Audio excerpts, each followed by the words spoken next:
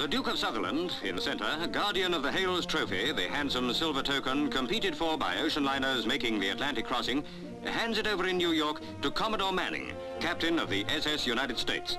Under Manning's captaincy, the ship broke all records on her maiden voyage last July. In from America,